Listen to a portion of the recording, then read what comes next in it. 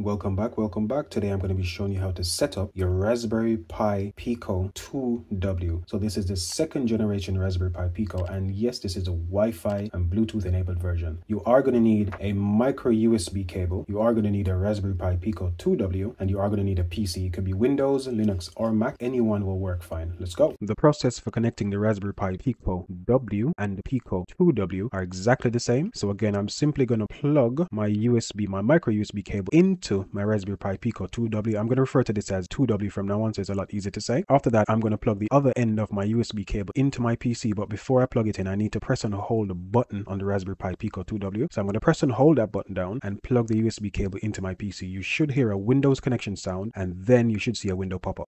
Perfect. I heard the Windows connection sound and this is the window that popped up here. I'm going to be able to drag my firmware file into this. But before I can do that, I need to go ahead and download the files I need. So first, we're going to be doing the Raspberry Pi Pico 2W MicroPython implementation. So simply Google Pico 2W UF2 MicroPython. You don't, you probably don't have to type every single thing I just said, but just search for it and you should see this page that comes up. It says MicroPython is the website. Then the Pico 2 is the highlight that comes up. So I'm going to click on the one that says Pico 2. This looks exactly the same as Raspberry Pi Pico, so the first generation one. So don't be worried. Scroll down again. When you get to the section that says firmware, you're gonna the one that says latest is the one you're gonna want. So it says 29 again of the 11 2024. I'm gonna click on this to download it. Let me open my downloads folder here. So this is the file that was just downloaded. Let's minimize this. Let's minimize that. I need to get the file from my computer onto my Raspberry Pi Pico 2W. There are a couple ways we can do this. As I said before, we can right click and then we can copy from here. Then we can paste it on the other side. So right click again and paste it here, or we can simply drag and drop it. Because it's a single file, I think most people simply drag and drop this across. So all you need to do again for drag and drop is click on your mouse and hold it down on the first icon on your PC, drag it. So move your mouse to the second window and then simply let go once you get to this window. What's going to happen now is going to transfer the file from my Windows PC to my Pico 2W and it's going to do a Windows disconnection sound and close the window on the right as well. All of that's going to happen in a single process. So I'm going to let go and let's wait for that to happen.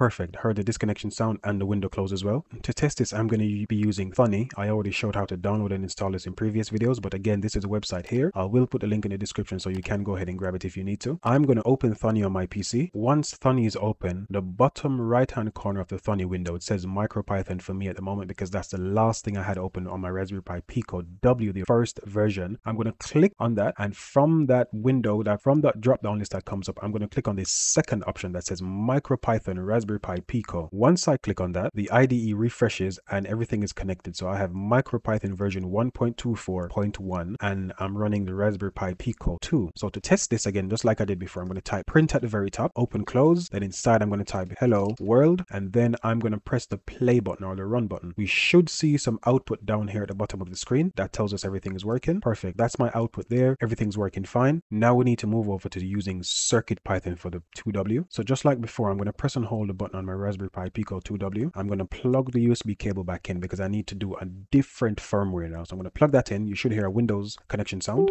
There we go. Windows connection sound. That thing popped up. The window popped up. So I'm going to go back to the website I need to go to. And again, to find this file, you type in pico 2w uf2 circuit python. Again, you might not have to type every single thing I put there, but once you find the correct website, you should be good to go. The name of the website is circuitpython.org and the page is going to be pico 2w download. I'm going to click on that one. And again, on the right hand side, it gives us all the details that we need. I'm going to click on where it says download uf2 now. Click on that. Let me go back to my downloads folder and it's going to be the one that says Ada Adafruit CircuitPython. Let's minimize the website. Now I have both windows open. On the left hand side, I have my Windows PC, and on the right hand side, I have my Raspberry Pi Pico 2W stuff. It's the 2350. That's the name, the code name for the Raspberry Pi Pico 2W. I need to get the file from my PC onto the Raspberry Pi Pico so I can copy it or I can drag and drop it, whichever one works fine. For now, I'm going to drag and drop. So I'm going to click and hold down on the icon. Then I'm going to move it over to the Raspberry Pi Pico 2W and let go. Again, it's going to transfer the file. Then it's going to play the disconnection sound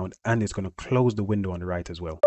Perfect, that worked perfectly fine. Then I'm going to open Thonny. At the bottom right hand corner of my screen, I'm going to click on the thing that says MicroPython. Whatever you have here is irrelevant. Simply click on the name here. For me, I'm going to click on MicroPython RP2040. This should still work for the RP2350. Don't worry, they probably just haven't updated everything yet. So I'm going to click on that. It refreshes, and as you can see, I've got Adafruit CircuitPython 9.2.4 for the Raspberry Pi Pico 2W. So they just haven't renamed everything. I'm going to type print at the top, open close. Then I'm going to say hello world. I'm going to press press the play or run button and down here we should see an output that says hello world. Perfect. Everything is working perfectly fine. So that's how you connect your Raspberry Pi Pico to your PC to get the new firmware. That's how you download CircuitPython and transfer that firmware. That's also how you download MicroPython and transfer it to the Raspberry Pi Pico 2W. Thanks for watching. Stay tuned.